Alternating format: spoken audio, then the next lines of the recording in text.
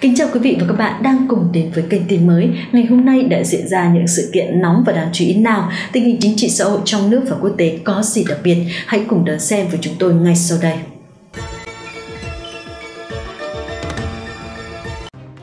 Chào mừng các bạn đã quay trở lại với bản tin của tin mới. Trong bản tin ngày hôm nay, các bạn thân mến, tin mới sẽ mang đến cho quý vị các bạn nội dung sau.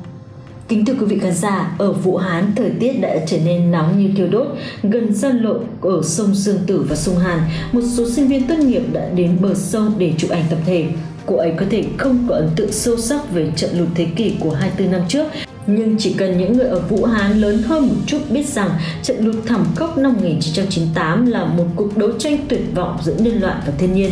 Nhìn vào niên đại lũ lụt Trung Quốc, chúng ta có thể thấy rằng Trung Quốc là nước thường xuyên có lũ lụt, đặc biệt là ở sông Dương Tử, sông Hoàng Hà, sông Tùng Hoa và các lưu vực sông khác, gây ra rất nhiều thiệt hại về người và của lấy lưu vực sông Dương Tử và sông Hoa với thảm họa lũ lụt nghiêm trọng nhất năm 1998 làm mẫu, chúng ta có thể thấy được tình hình chung của thiên tai lũ lụt ở Trung Quốc, đồng thời có thể hiểu rõ hơn về những bến cảng an toàn trên vùng biển của Trung Quốc. Thưa quý vị, chúng ta cùng ngày quay ngược thời gian 24 năm về trước. Vào giữa tháng 8 năm 1998, sông Dương Tử nổi cơn thịnh nộ khó lường. Mực nước tại đèo Vũ Hán đã phá kỷ lục của trận lụt thảm khốc năm 1954, đạt 29,39 m, có thể gọi là thế kỷ mới có một lần. Khu vực nhạy cảm và nguy hiểm nhất lúc bấy giờ là đền Long Vương, nơi các sinh viên tốt nghiệp này chụp ảnh. Theo các phương tiện truyền thông địa phương đưa tin, lúc đó có rất nhiều nguy cơ ngập lụt giải rác trên bức tường chống thấm của con đê và có thể xảy ra tình trạng hư hỏng do nước trên con đường ven sông.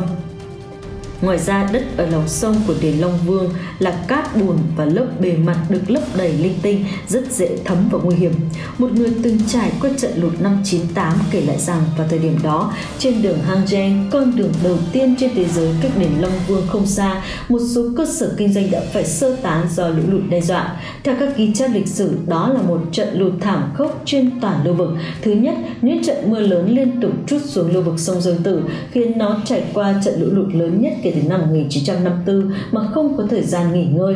Hồ Bắc và Giang Tây dọc theo tuyến đường không có ai đã được tha, khu vực còn lại là lưu vực sông Tùng Hoa và sông Nội Giang ở phía đông bắc, nơi có trận mưa lớn liên tục hiếm hoi khiến tiểu Paris phương Đông các nhị tân hứng chịu thảm họa lũ lụt rất nghiêm trọng trong lịch sử. Giờ đã 24 năm trôi qua, những người chơi bên dòng sông Tùng Hoa khó mà hình dung được bao nhiêu sinh mạng của đồng bào mình đã bị dòng sông mà chúng chơi đùa nuốt chửng. Có lẽ chỉ có tháp tưởng niệm kiểm soát lũ lụt các nhị tân hùng vĩ mới có thể khiến những người qua sông nhớ lại vẻ hùng vĩ của thiên nhiên.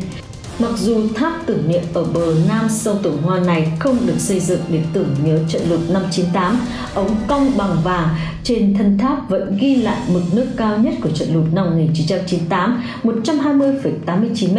Một bài báo viết với tựa đề kỷ niệm trận lụt Cáp Nhị Tân đã mô tả cảnh tượng như thế này đi đến phía trước của tháp tưởng niệm kiểm soát lũ lụt, bạn có thể nhìn thấy những chiếc thuyền trên sông Tùng Hoa cao hơn đầu bạn và sông nước đã san bằng mặt đất.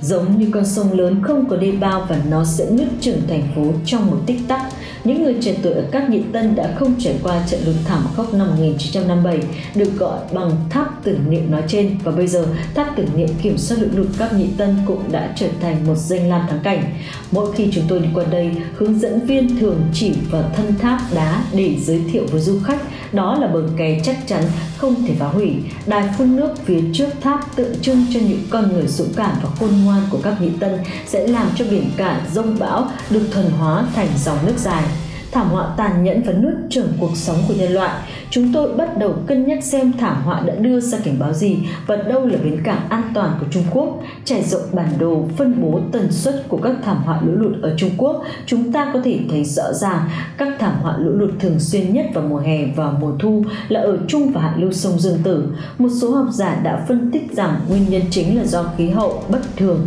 mưa bão quá nhiều và sự suy giảm khả năng chứa của sông hồ. Lấy trận lụt thảm khốc năm 1998 làm ví dụ, lượng mưa ở lưu vực sông Dương Tử chỉ đứng sau trận lụt năm 1954 và đứng thứ hai trong thế kỷ trước, đồng thời do phù sa bồi đắp và các nguyên nhân khác, diện tích các hồ ở trung và hạ lưu sông Dương Tử đã giảm 45,5%, làm giảm khả năng điều tiết và trữ lũ. Chen Chi-wan, Phó Giám đốc Viện Hệ thống Thông tin Địa lý và Viện Thám thuộc Đại học Bắc Kinh cho biết trong bài báo phân tích thảm họa lũ lụt ở Trung Quốc rằng việc giảm diện tích hồ đã làm giảm đáng kể khả năng chứa và xả lũ và lũ lụt thường xuyên xảy ra. Từ năm 1949 đến năm 1984, diện tích của hồ Đông Tinh đã giảm một nửa, từ 4.350 km vuông xuống còn 2.145 km vuông. Hồ Poyang cũng bị thu hẹp 1 phần 5 trong giai đoạn này và Hồ Bắc, nơi có tiếng là tỉnh ngàn hồ, đang dần trở thành một kẻ ngộ nhận. Dữ liệu liên quan cho thấy vào những năm 1950, Hồ Bắc có 1.332 hồ với bề mặt hơn 100 ha, trong khi vào năm 2000 chỉ có 574 hồ với bề mặt hơn 100 ha. Trong 50 năm qua, 758 hồ với bề mặt hơn 100 ha ở Hồ Bắc đã biến mất khỏi bản đồ với trung bình hơn 15 hồ mỗi năm. Chen Chiwan tin rằng thiệt hại sinh thái và xói mòn đất do phá rừng và dọn cỏ cũng là những yếu tố quan trọng gây ra lũ lụt. Các tài liệu liên quan cho thấy rừng bị mất mạnh khiến mưa bão không thể trữ nước trên núi, làm mất nhiều đất và nước, làm tăng tần suất lũ lụt và làm trầm trọng thêm tình hình thiên tai. Một số học giả đã viết trong khoa học hệ thống nông nghiệp và nghiên cứu toàn diện rằng lấy đoạn các nhị tân của sông Tùng Hoa làm ví dụ, cầu đường sắt Binju sông Tùng Hoa là một trong những cây cầu trong lưu vực mà trong 80 năm qua, cây cầu bắc qua đoạn dưới cầu đã qua nước do buổi nắng dòng sông đã giảm 71%.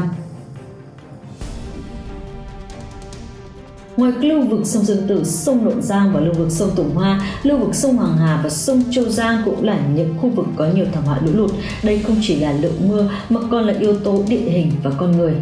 Theo bản đồ đường đằng sâu ở Trung Quốc, nước này có thể được chia thành 3 vùng, vành đai nước cao, vành đai nhiều nước và vành đai bằng phẳng. Hầu hết lũ lụt trong lịch sử xảy ra ở vành đai có mực nước cao và đai nhiều nước với địa hình dốc dễ tập trung nước chảy nhanh hình thành lũ quét, còn địa hình bằng phẳng không dễ xả lũ, dễ hình thành lũ. Nếu thượng lưu, trung lưu và hạ lưu của một con sông bị chia cắt thì hầu hết các khu vực thường bị lũ đe dọa là trung lưu và hạ lưu. Tuy nhiên, điều đáng chú ý là những khu vực có địa hình bằng phẳng thường là nơi tập trung đông dân cư và kinh tế phát triển nên khi có thiên tai xảy ra thì thiệt hại nặng nề. Nhiều lần Đại Hồng Thủy thế kỷ cho chúng ta hiểu rằng con người phải sống hòa hợp với thiên nhiên, quan tâm đến môi trường và bảo vệ rừng. Ví dụ ở Vũ Hán, kể từ năm 1998, chính quyền trung ương và địa phương đã đầu tư tổng cộng hơn 4,3 tỷ nhân dân tệ vào việc gia cố các tuyến kè chính của hai con sông.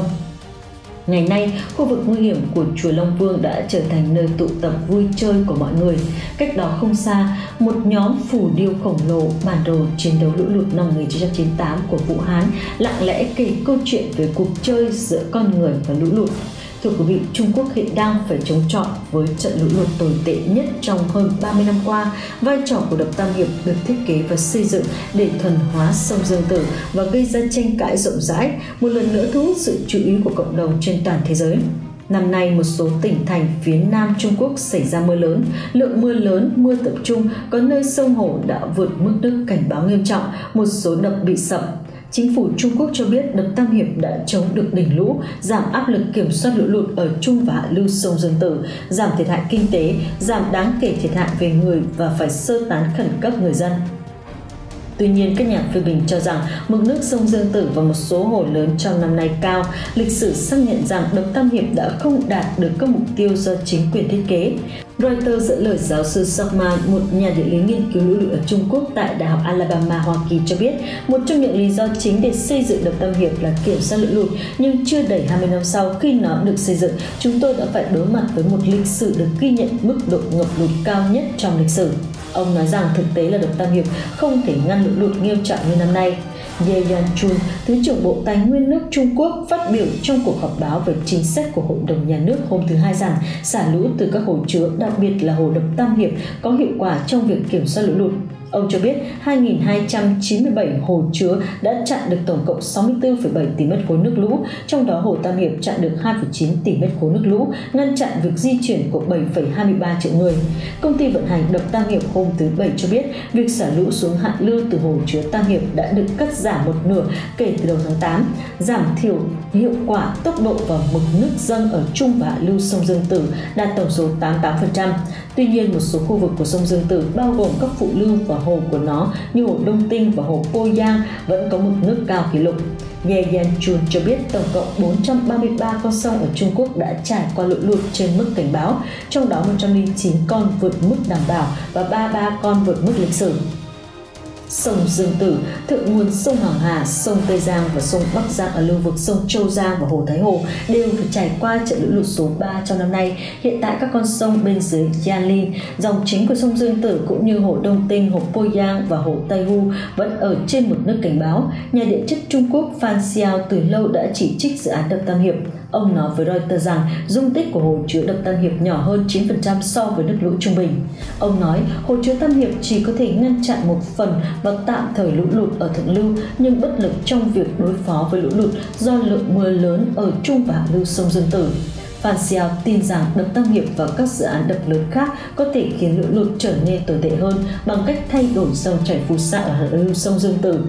Nhu cầu phát điện từ các dự án đập cũng ảnh hưởng đến việc kiểm soát lũ. Phan Xiao nói, khi mọi người chỉ coi các hồ chứa nước để giải quyết vấn đề kiểm soát lũ lụt, họ có xu hướng bỏ qua hoặc thậm chí làm suy yếu khả năng điều tiết lũ tự nhiên của sông hồ. Shockman, nhà địa lý tại Đại học Alabama, người nghiên cứu lũ lụt ở Trung Quốc cho biết đập Tam Hiệp có thể giúp giảm thiểu lũ lụt trong một năm điển hình, nhưng trong thời tiết khắc nghiệt hơn, nó có thể bộc lộ điểm yếu của nó, đó là do vùng hạ lưu bị thu hẹp và tăng cường. Ông nói hồ chứa đập Tam Hiệp không đủ khả năng để có tác động đáng kể đến những trận lũ lụt tồi tệ nhất. Hôm thứ Hai, một đoạn video do CCTV của Trung Quốc phát sóng cho thấy một lỗ thủng lớn ở đỉnh hồ Poyang Wenguiwei, sông Wonchunchun và sông Fufu. Điều này một lần nữa khẳng định rằng đập Tam Hiệp được chào hàng vẫn không đạt được cái gọi là mục đích kiểm soát lũ lụt của nó. Và thông tin trên cũng đã kết thúc chương trình hôm nay của tin mới. Để không bỏ lỡ những thông tin của chúng tôi, quý vị hãy bấm like, share và subscribe để nhận được thông báo mới nhất khi chúng tôi phát sóng.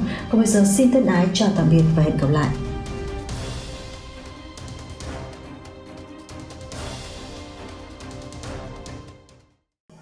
Vâng thưa quý vị, bản tin hôm nay tới đây là kết thúc. Chân thành cảm ơn quý vị và các bạn đã theo dõi bản tin của chúng tôi. Chúc quý vị và gia đình luôn mạnh khỏe, hạnh phúc nếu thấy hay thì hãy đăng ký kênh, sau đó nhấn biểu tượng chuông ở góc phải màn hình để không bỏ lỡ những tin tức mới nhất mà chúng tôi sẽ cập nhật. Còn bây giờ xin chào và hẹn gặp lại.